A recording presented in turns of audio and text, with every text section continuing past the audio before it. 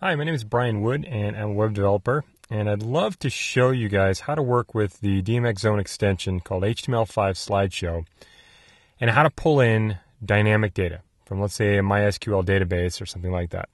If we create a record set within Dreamweaver, how we can pull that in and use that data in the actual uh, slideshow. Really cool. So, really simple example out here. You guys can see I'm pulling this in from a MySQL database. Now, typically I'm, I'm assuming you guys have, know about you know databases mysql. You probably have some kind of local server running. I have a wamp server running. You can also have xampp on uh, windows or mamp on mac. And you've got a you know a website set up and you've gone into dreamweaver. Let me go over to dreamweaver here. You've gone into dreamweaver and you created yourself a site with a testing server and things like that. Now what we need to do is we need to go in and create the php page add the slideshow, add the data, and then hook them together. So let me go over to my start page here, and I've got a, a, a little uh, div right here that I'm going to put it in. First things first, on this page, I'm going to hook up my data.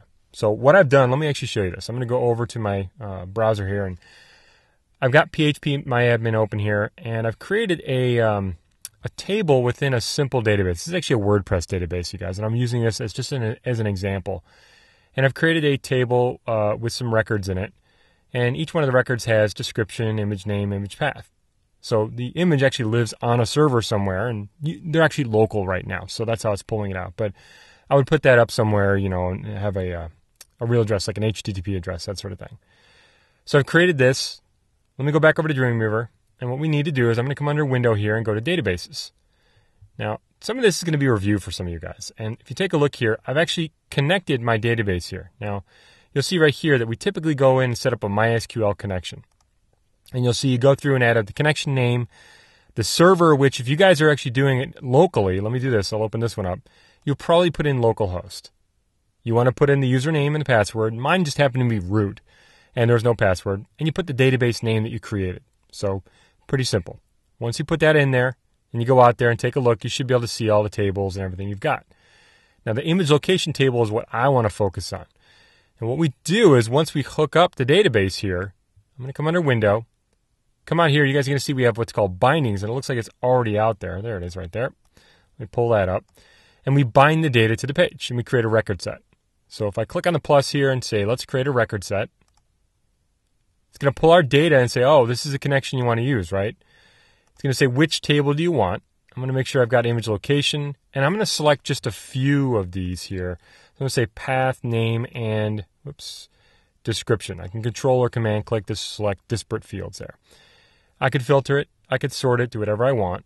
I'm going to test it out, see what it looks like, and it should pull my data in and show me what it looks like. There we go.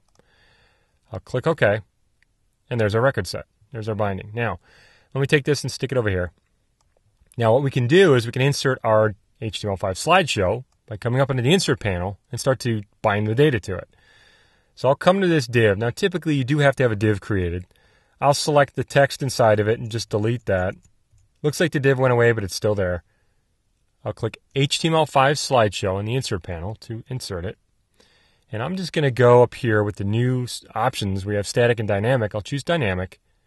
And it'll say, oh, well, looks like you've got a record set ready. So let's use that as a data source. Now, if you've got multiple data sources coming into this page, you can obviously choose, choose whichever record set you want to use. Now we go in and we bind. So for the image field itself, I'm going to come over here and anytime you see like this, um, looks like a little lightning bolt, I click on that. It's going to say, all right, well, let's hook it up. So I'll say the image path is going to get hooked up there. Now you can, if you want to, choose a format.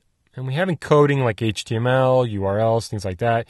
You can choose what you want. Okay, it's up to you guys, but I'm going to leave it alone. It should work fine. I'll click OK, and you'll see it puts the data in there. Now I'll go to title here, click on the dynamic data as value, and this is called my name, not my title. So whatever you called your uh, your fields, and then I'll go to description here and click on the uh, choose dynamic data, and say description. Now, of course, I could have created in my database. I could have created a width, a height field and an ID if I wanted to. Um, created those just to put those in here if I wanted, but I'm going to leave it alone for right now. So pretty simple. All right, now that I've got the data hooked up, if I come to advanced out here, you'll see a lot of things we can do. I'm going to change the slide duration so you can see it happen a little bit faster. And we can place the images in a different place if we want to. We'll have it change the design as well. I'm going to do something like dark matter so it's a little bit easier to see. And we can set up motion, transition, whatever we want to do here to have it set up. So I'll click OK. I think it looks pretty good that way, or will anyway. There it is. You'll see the dynamic data right there, the icon. I can go to live view if you guys have a testing server set up. Otherwise, I'm going to go out and just preview it in Firefox with my testing server set up. I'll save it. Any files that are necessary for this will get pulled in and be used. And there we go. It's picking up. You can see my formatting that I've got. So we've got that out there. We've got the images and everything is set. Now, what I can do is change. You'll notice that this is not quite fitting into my div here. That's just a, a function of the HTML5 slideshow that's easily changed. Let me go back. Now with the HTML5 slideshow selected, I can come down here and just change the width if I want to, making sure that my images actually fit that, which makes, hopefully that makes sense.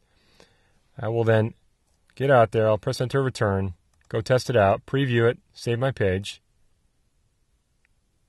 And there we go. Pretty cool. Now, of course, you guys, if you do have a change in your, your data, let's say you guys have a change in your table uh, and your record set changes or something like that, we're going to need to make sure that we've got all the bindings set up properly and that you go back in. If you do change, let's say, uh, names of anything, you want to make sure you go back into slides, click on slides there. Check to make sure that everything's set up correctly in here, that you've bound to the correct, you know, data, and you should be set. So, all right, that's pretty cool. It's a great way to be able to use the HTML5 slideshow. Now I'm showing you guys how to do it on a local uh, setup here. I've got a local server running, things like that. You know, I've got PHP, uh, MySQL uh, set up locally, but obviously this can work on a website if you guys have it set up on your web server and just get it ready to go and all set to go. So pretty easy, pretty powerful too. A lot of great stuff we can do with the HTML5 slideshow.